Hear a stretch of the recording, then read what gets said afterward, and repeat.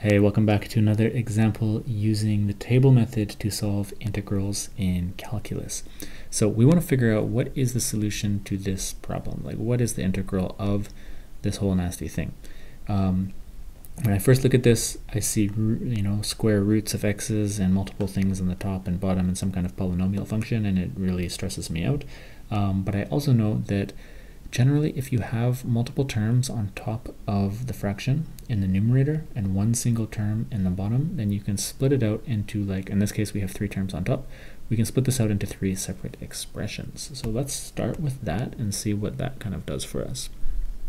So the integrals is going to be equal to, uh, this is going to be equal to 5x squared over x root x dx, so that's one integral, plus the integral of 4 root x over x root x plus, um, that is also dx, plus the integral of 12 dx over um, x root x.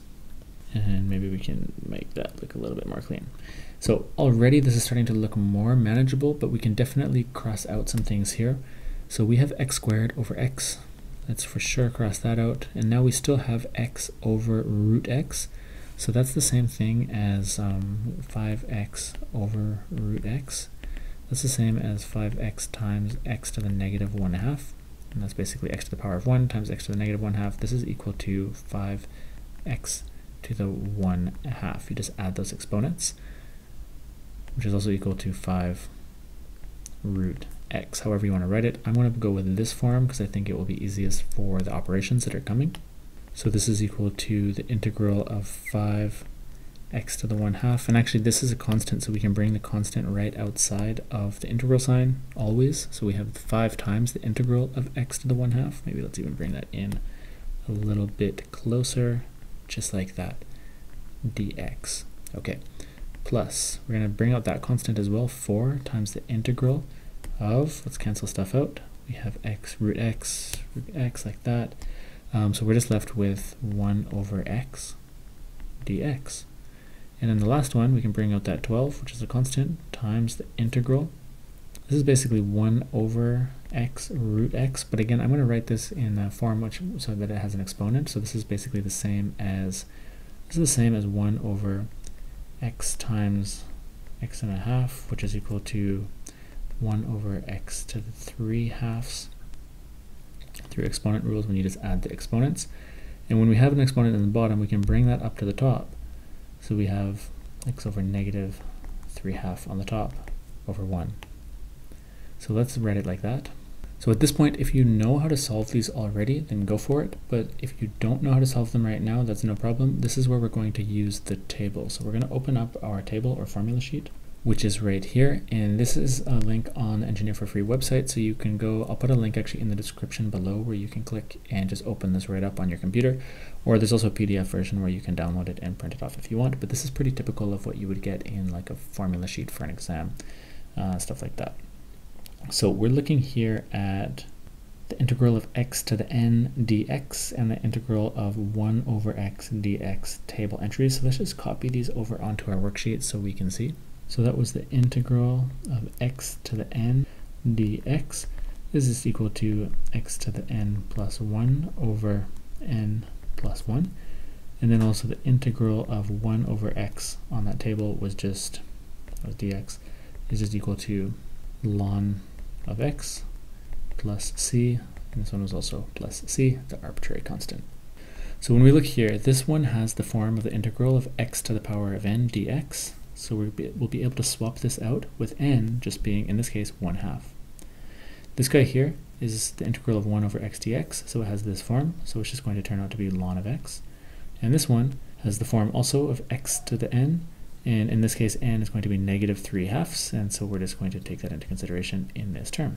So let's go through one at a time. We'll solve the first term first, so this is going to be 5 times x to the 1 half plus 1 is x to the 3 halves. And this is going to be over 1 half plus 1, which is over 3 halves. The next term is going to be 4 times this substitution, because we have the integral of 1 over dx, we have the integral of 1 over dx, so we can just substitute this whole thing. So this will be 4 times the ln of x. Technically, these each actually have a plus c as well, and I'll, I'll just write them now, and you'll see in a second that they're just going to go away. So that was plus 4 times ln of x plus c plus 12 times x. So in this case, n is negative 3 halves plus 1 is going to be negative 1 half for that exponent. Negative 1 half. And this will be over negative 1 half because we're over n plus 1. And in this case, n is negative 3 over 2. And this one is also plus c. But first talking about these arbitrary constants, this arbitrary constant and this one and this one are all just arbitrary unknown constants. And three unknown numbers added together is just another unknown number. So we can just lump them all into one, which you'll see in the next step. Um, we'll just end up with one single unknown constant. And when we divide by fractions, it's the same as multiplying by their inverses here, so we can do that. So 5 times 2 that's just going to be 10 over 3 times x to the 3 half plus 4 ln of x. And this will be minus 24 x to the negative 1 half and then plus one single arbitrary constant. And that is our actual solution for what is the integral of that initial expression that we were looking at up at the top. There is another way to write this, like if you go on Wolfram and you type this in, you're going to see a slightly different form, but you can just rearrange this through like several steps to get there if you want, but I think honestly this is good enough. If you did this, it would show your professor that, hey, at least you know that these, you know, how to simplify this a little bit and how to look up the table and find, you know, the appropriate table entries and, uh, you know, substitute in their solutions and then come up with something, you know, and lump all of the arbitrary constants into one. I think you'd be looking at, you know, full marks for that at any school basically that's testing you on your knowledge of using the table method.